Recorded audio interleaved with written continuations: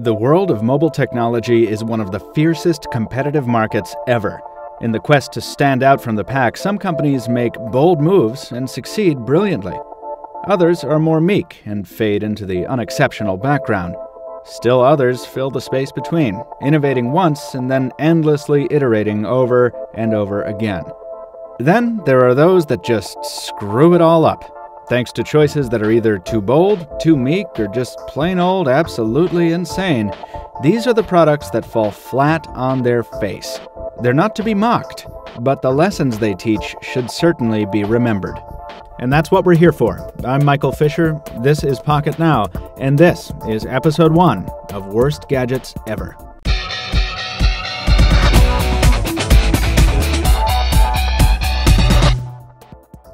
So, back in February of 2011, Sprint announced an industry first event that they were really trying to make a big deal out of.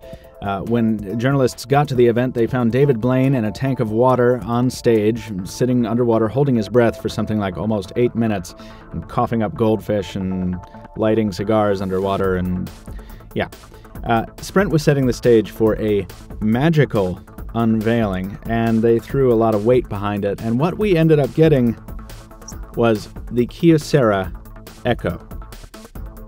As a refresher, let's take a brief hardware tour. In its closed position, the Echo looks like a.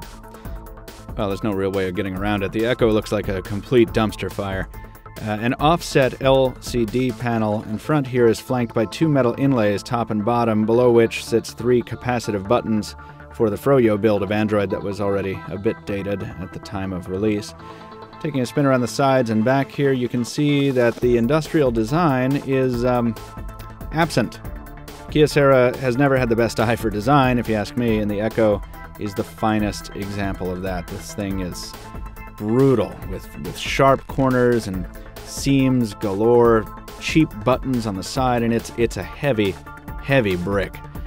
Part of the reason for that added thickness and weight, of course, if the Echo's headline feature weren't in, uh, obvious enough. Popping the unit open reveals, first off, that it's a very cumbersome unit to open, but eventually the hinge locks into place, and your bulky, cumbersome, oversized phone becomes a bulky, cumbersome, undersized tablet. Sort of.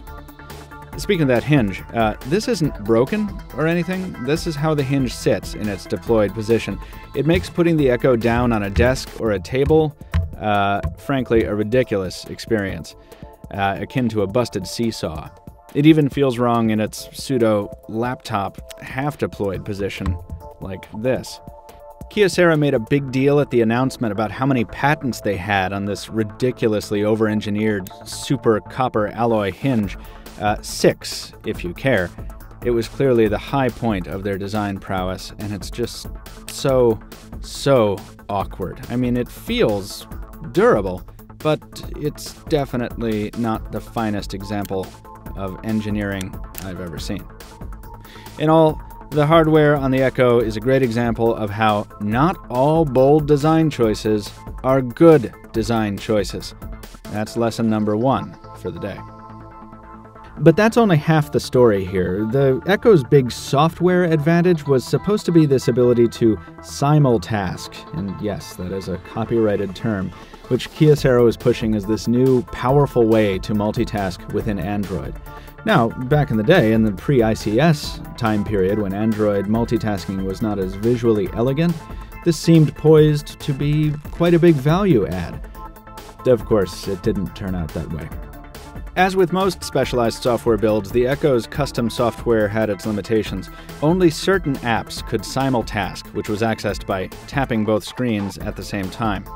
In stock configuration, the simultask available apps included only the browser, phone book, email, gallery, messaging, phone, and Kyocera's custom Q View or View Q app, which lets you watch videos while browsing other videos.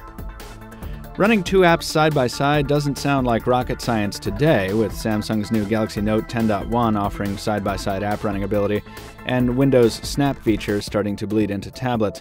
But this was early 2011, and the Echo was trying to address a gap in the market that really needed addressing. Outside of WebOS, the lack of elegant multitasking on smartphones was a real problem that needed solving. The problem, it wasn't elegant. The dual tap to open of the multitasking menu meant multi-touch was enabled in some apps and it was disabled in some other apps, some crucial apps in tablet mode, like the gallery. Sure, you could watch videos while you were taking care of other business, but the pitiful number of apps which supported the feature meant you couldn't, say, check your email with the Gmail app while doing anything else. You had to use the stock built in app. Not a great experience. And the simultasking app selection never widened because people could tell quite early that this phone wasn't really going anywhere. Really, how could it? With a bezel thin, but still there, bisecting the displays in a so called tablet mode, even normal usage without simultasking wasn't enjoyable. And tablet mode still only yielded a 4.7 inch diagonal screen area more square, sure, and okay for the time, but much smaller than the more utilitarian phablet screens that started showing up in devices like the Galaxy Note. And while we can't ding the device too hard for its lack of responsiveness, I mean, this was the era of Froyo after all, it needs to be said the Echo was a laggy, laggy phone. Frame drops and skips and general sluggishness pervade the OS. Also, there was never much pretty about Froyo, and the Echo's hardware and custom skin don't do it any favors. If you're going to try to build next generation hardware, don't saddle it with half baked software. That's lesson number two. In all, it's hard to demolish the Kyocera Echo. Not because it's a bad device, I mean, this thing is a train wreck, but because I hate coming down on companies that try something new. There's so little that's new and exciting in smartphone hardware these days. We've written about it countless times at Pocketnow. Everything's a variation on the same dull slate with a big display. So it's always nice to see a company really strive to do something different, fun, and interesting.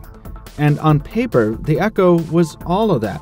A phone with a hinge that carried six pending patents, dual screens that transformed into a tablet when you wanted it to, it sounded like every geek's dream come true. Unfortunately, where it stumbled was in execution, and those stumbles were bad enough and big enough that the obituaries were being written almost as soon as the Echo launched. Unfortunately, in the world of mobile technology, as elsewhere, it's not just about what looks good on paper, it's about what actually works well in the real world. The Kyocera Echo didn't. Folks, I'm Michael Fisher from PocketNow.com. That's going to do it for episode one of Worst Gadgets Ever. Thanks for watching. Throw us a thumbs up here on YouTube if you liked what you saw. If you have a comment or a suggestion on another device we should cover, uh, we are going to be doing more episodes in this series. Please leave us a comment on the post at pocketnow.com, not here on YouTube. We don't check them very often. Or you can send me an email, michael at pocketnow.com. Or you can follow us on Twitter. Actually, please follow us on Twitter. We're at PocketNowTweets for the official account. Uh, I am at Captain Two Phones. That's Captain, the number two phones. You can also find Pocketnow on Facebook, on Google Plus, anywhere there's a social media outlet. We are there. I want to thank you once again for watching, and stay tuned for the next episode. It's coming soon. Thanks again.